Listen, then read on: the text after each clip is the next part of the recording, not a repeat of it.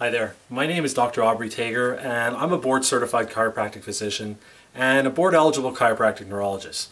I trained under Dr. Ted Carrick, who's the world's foremost authority in chiropractic neurology and the doctor who most recently got hockey's Sidney Crosby back on the ice after he had a severe concussion.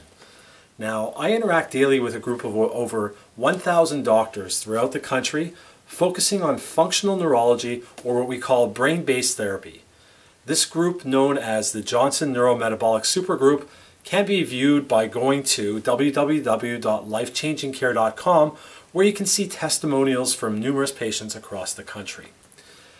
Today, if you're watching this video, then it's usually because you or somebody you love is suffering from fibromyalgia.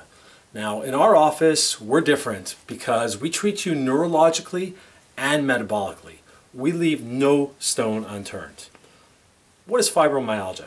Well, fibromyalgia is a form of generalized muscular pain and fatigue that affects approximately 3.7 million Americans.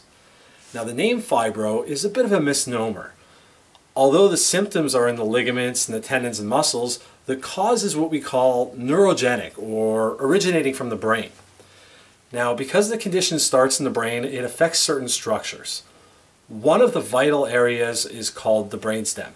Now the brainstem is made up of the upper or mesencephalon, the middle or the pons, and the lower brainstem which we call the medulla. Now normally the brain actually sends signals or fires to the lower brainstem and the lower brainstem fires back up to the brainstem. This is called the neocortical thalamo-hypothalamic pontomedullary reticular activating system. And it took me a long time to be able to understand what that actually means.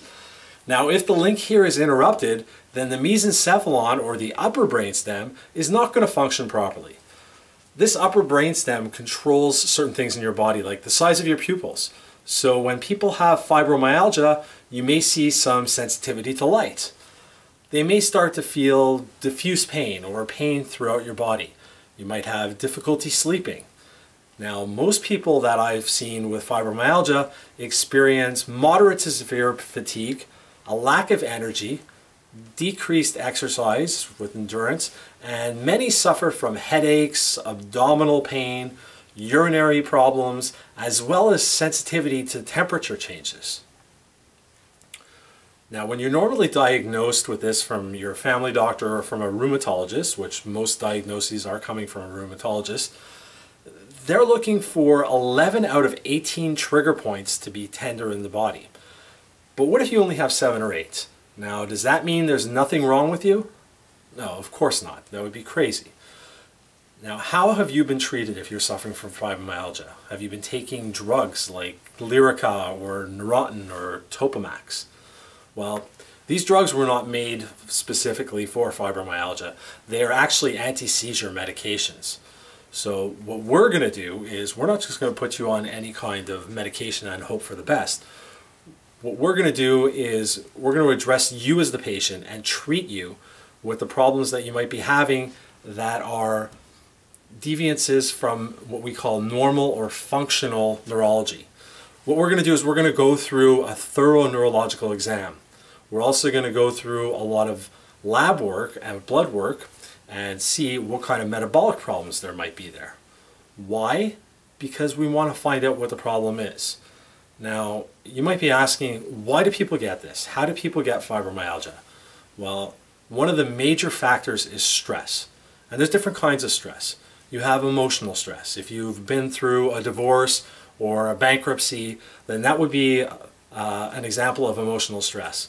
Physical stress, you might have been in a car accident, or if you think back, you might have had an injury, maybe a sports injury, you twisted an ankle, you hurt something.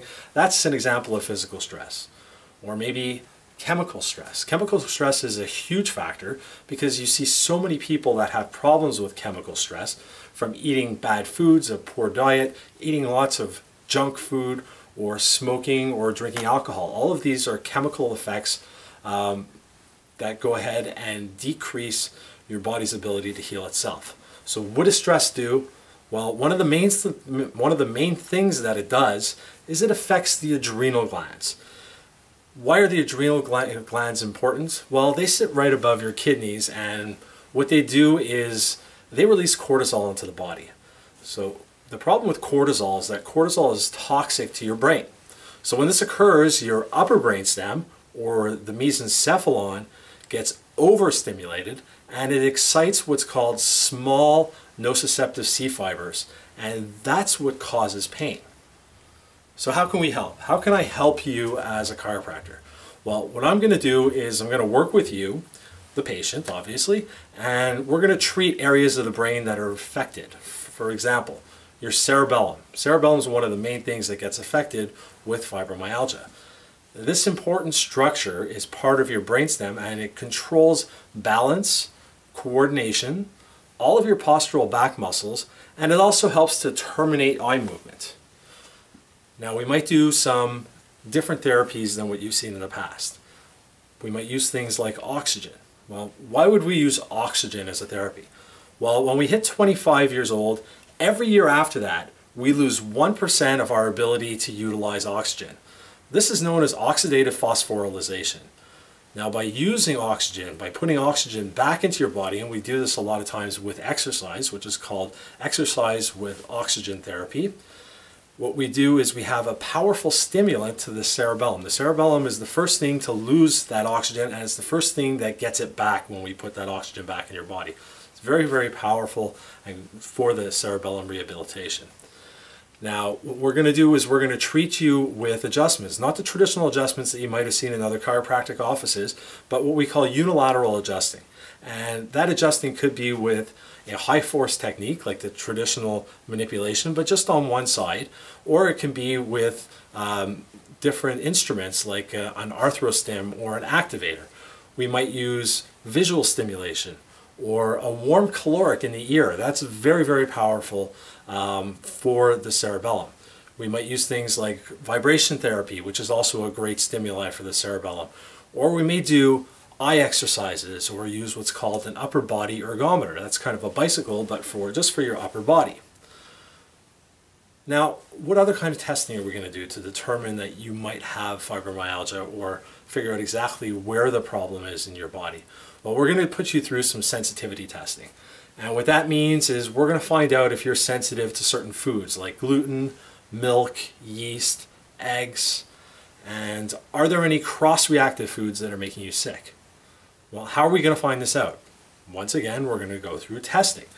We're going to work with certain really, really highly reputable labs throughout the country, like Cyrex Labs, Entero Labs, LabCorp, which you'll see in almost every city in the US, and Metametrix. You can go to any one of these companies' websites and you can check out their work for yourself. Now, there is a direct link between metabolic problems and food sensitivities and your pain. People with metabolic issues suffer from chronic pain, fatigue, frequent indigestion, and constipation. Now, what are the three biggest causes of inflammation? Well, gluten, dairy, and soy. Now we're going to run a complete metabolic panel. That's for blood work. We're going to do tests to see if you have any kind of autoimmune conditions. And we're also going to interpret your red blood cells, your white blood cells. We're going to see if you're anemic. We're going to check your thyroid and we're going to look at functional or optimal ranges. That's different than looking at something like a pathological range. Now, how do we do that and what are we talking about? Well, I'll give you an example of diabetes.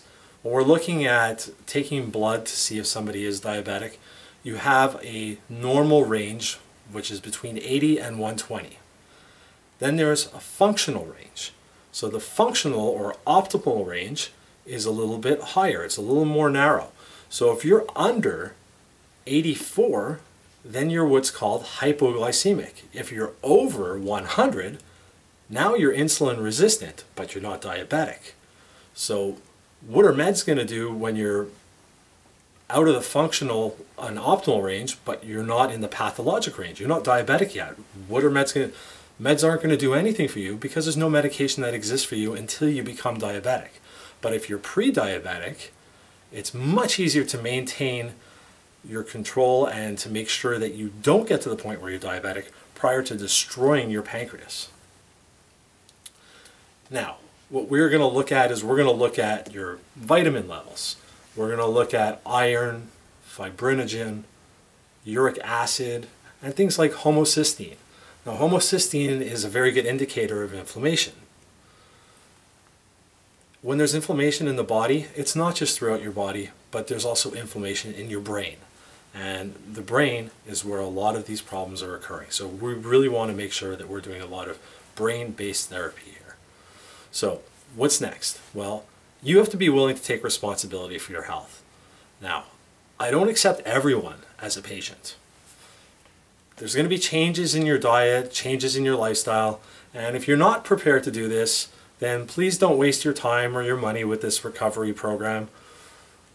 We're going to be treating you differently. This is going to be treating you metabolically and neurologically. If this makes sense, then book an appointment. But if you're not ready to make this commitment, then don't waste your time. But I want you to know that insurance may cover a portion of this, and we do offer financing options as well. We're going to be testing, we're going to be treating you, and then we're going to be retesting you. So we're not just going in there blind and just hoping for the best. We're going to know if things are actually working for you.